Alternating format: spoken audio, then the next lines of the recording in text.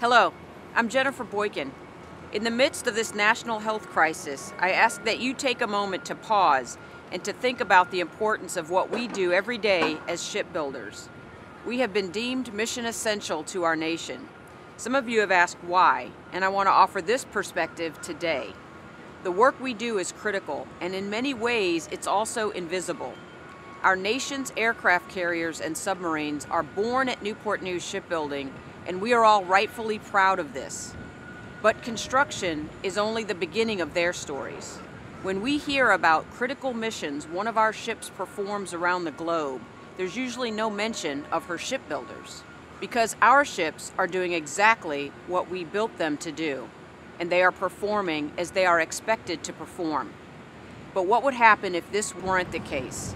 If we did not live up to the expectation of always good ships, the value on which our company is founded?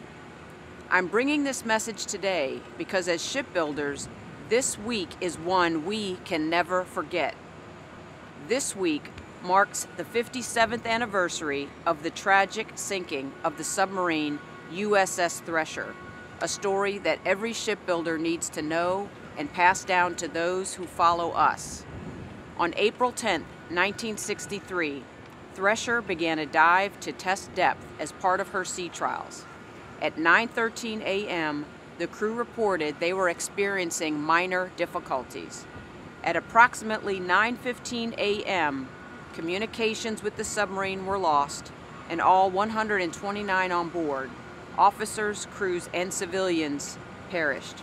The Congressional Board of Inquiry ultimately concluded that the loss of Thresher was most likely the result of a failed piping joint, a failure which began a series of events ultimately resulting in the ship's inability to maintain propulsion or to effectively blow seawater from her ballast tanks and return to the surface. Although Thresher was not built by Newport News Shipbuilding, her story serves as a steadfast reminder to all of us about the critical importance of the quality work we do. Thresher's loss marked the first time a U.S. nuclear submarine succumbed to the sea, and this event forever transformed the submarine manufacturing industry for the better. Less than two months after the tragedy, the Navy established the Submarine Safety Program to ensure that all the lessons learned from Thresher carry forward and that new standards in submarine design, construction practices, and quality assurance programs were established, ultimately ensuring those lost on board Thresher did not die in vain. The new standards, known as SubSafe, is what we use to build and maintain submarines today. Submarines that include our new construction submarines, like Montana, which is completing construction and will head into her own sea trials soon. USS Helena and USS Columbus, both in our yard today, undergoing maintenance work so that they can return to the Navy to serve critical missions around the world. And USS Delaware, which was commissioned into service just last weekend. With no fanfare, no celebration, Delaware just silently joined the fleet because more than ever, our Navy needs these aircraft carriers and submarines. And they know we will do everything we can to answer the call.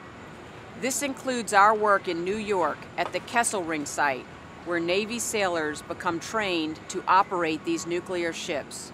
Without this work, the ships don't sail. Answering the call is why our work is mission critical, not just during a crisis, but every day. In my role, I am privileged to ride every initial sea trial for every submarine and every aircraft carrier we build and overhaul. And I go with full confidence because I trust your work and I know that the lessons we learned from Thresher are guiding us today to produce the highest quality, most complex ships for our United States Navy. I hope the Thresher story will serve as a reminder to why doing our best each and every day matters at work, at home, in our communities, everywhere. Because whether we are building ships or navigating a national health crisis, we are all in this together.